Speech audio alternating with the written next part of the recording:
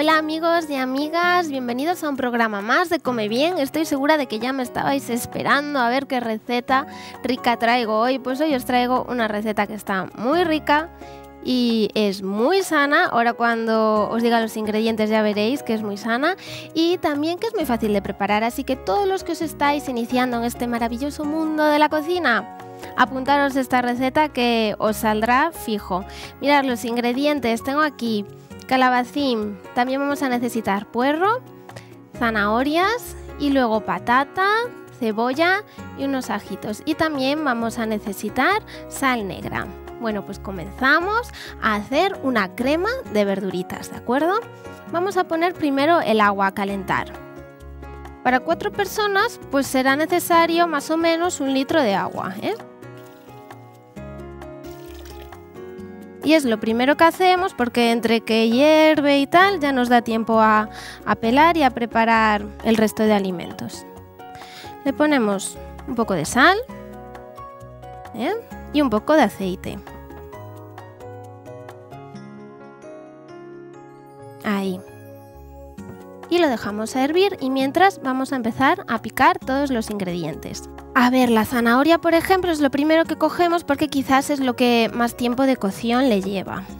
Y no hace falta que lo cortemos de una manera especial, ¿eh? Así a trozos, pues que no sean ni muy chiquitines ni tampoco muy grandes porque entonces sí que le llevará mucho tiempo cocerse. Normalmente la gente las verduritas a lo mejor las hace primero en una sartén y luego ya las pasa a la cocción.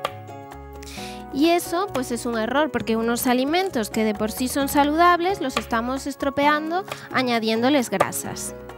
Bueno, pues como ya tengo esto, lo vamos a echar aquí en la olla que el agua está empezando ya a hervir. ¿eh? Por aquí. Muy bien, y vamos a continuar picando. Vamos a ir con la patata. Y tampoco hace falta que la cortemos de una manera especial. ¿eh? Ahí como queramos. Y bueno, lo que os comentaba, también a estos purés mucha gente pues a lo mejor los hace con queso, con mantequilla o les añaden nata y es un error como el anterior, ¿no? Como el que he comentado antes de freír las verduras. Es verdad que va a tener más sabor, un sabor más fuerte, pero mm, pierde toda la salud del alimento, ¿no? Entonces tenemos que procurar evitar estas salsas y, bueno, pues acostumbrarnos a los sabores que tienen los vegetales, que son sabores muy ricos. Además en el puré como va todo mezcladito, la verdad es que está delicioso. No es como tomarlo de manera individual, ¿sabéis lo que os quiero decir? Sino que coge un sabor muy rico, ya veréis, ya veréis luego que os va a gustar mucho. Bueno, vamos a seguir picando, por ejemplo, la cebolla y los ajos es lo siguiente que vamos a poner. El ajo así, un poquito a la mitad y listo, para adentro, sin complicaciones. Y la cebolla también la ponemos.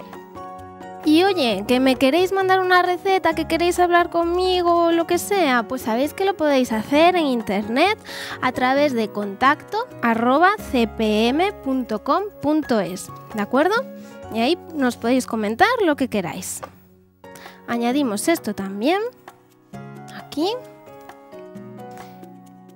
Y vamos con el puerro. El puerro yo ya lo tengo aquí limpio, pues sabéis que hay que quitarle esta parte de aquí y quitarle, bueno, pues un poco las hojas porque sabéis que es más grande y entonces lo cortamos a mitad, por la mitad esta zona que tiene las hojas, le pasamos bien agua y hay que abrirlo un poquito y mirar que no tenga restos de arenilla porque por aquí se cuelan y entonces por eso hay que cortarlo, pasar agua y mirar bien que esté bien limpio, que no haya ninguna piedrecita.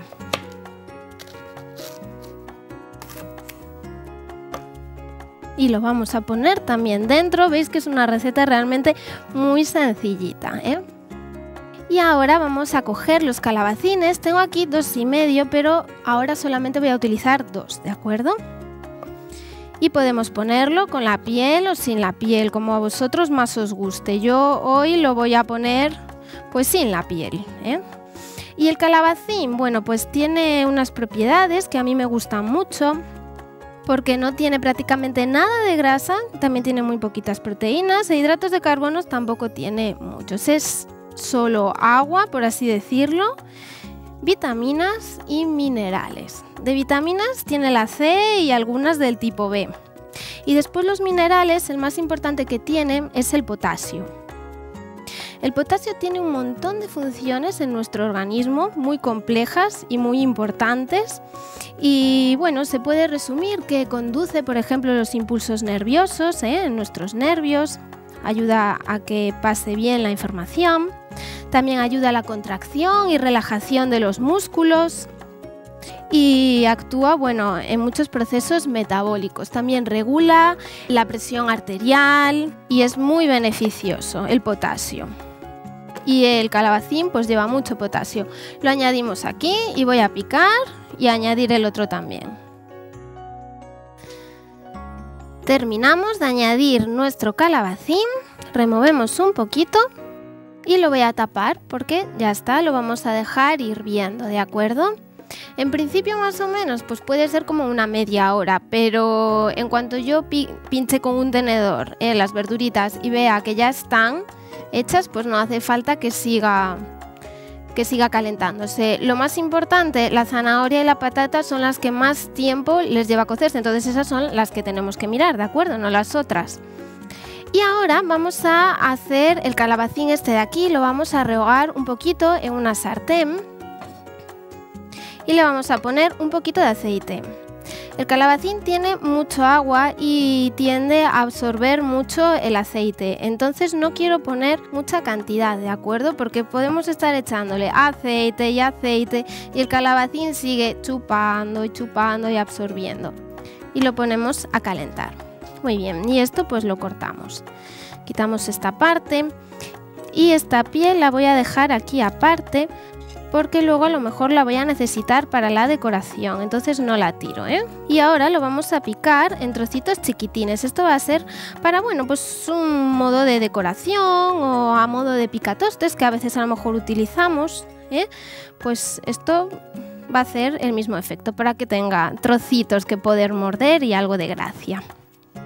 Así que la picamos en cuadraditos chiquitines. Y ahora estos circulitos que hemos hecho, pues los partimos así y hacemos cuadraditos. Mirar, esta crema la verdad tiene una ventaja muy buena y es que em, a lo mejor yo he hecho repollo cocido y me ha sobrado un poquito, pues se lo puedo poner.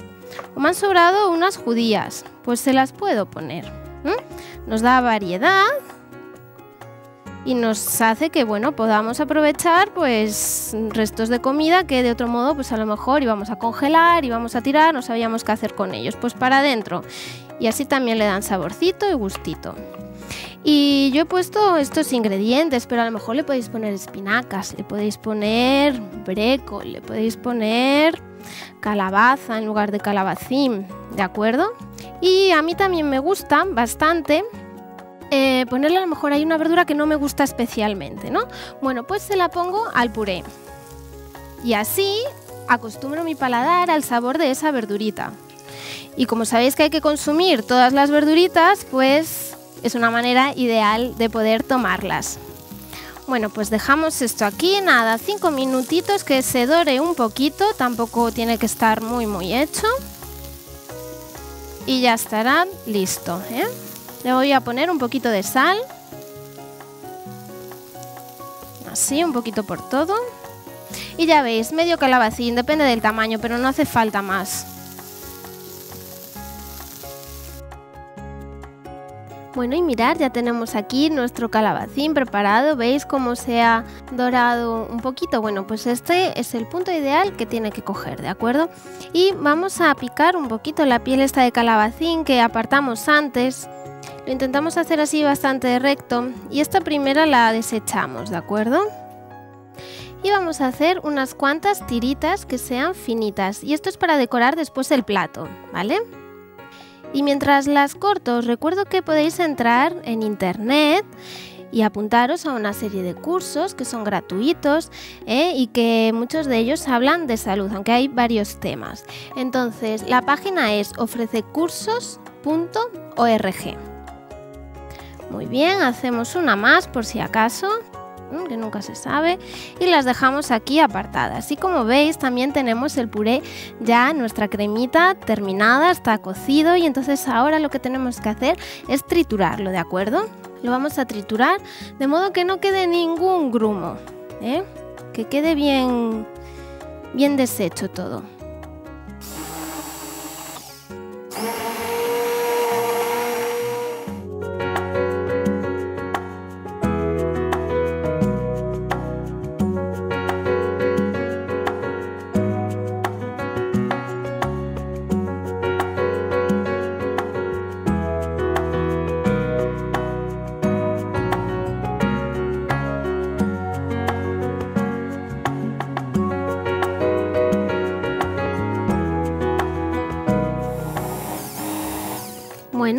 Y esto ya está.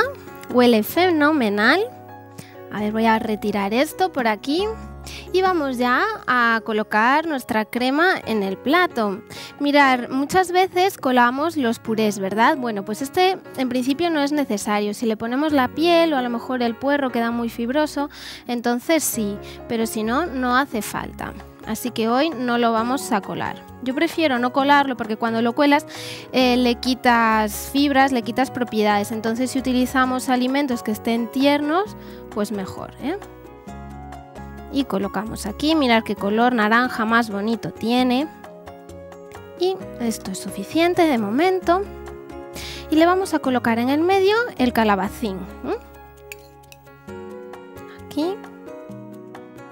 Un poquito. Ver, uno más ahí, ahí. Y le vamos a poner la sal negra, eh, que es flor de sal. La flor de sal a mí me gusta mucho, se utiliza sobre todo para decorar, hay que ponerla ahora es el momento ideal, ¿no? Al final de todo porque tiene unas propiedades que hace que se deshaga muy rápido. Pero lo que me gusta de ella es que se recoge de manera tradicional, de manera manual y no pasa por ningún proceso industrial, ¿de acuerdo? ¿Veis qué bonita queda? Pues le ponemos así, un toque de sal y también vamos a poner y ponemos uno aquí. Ponemos otra tirita aquí.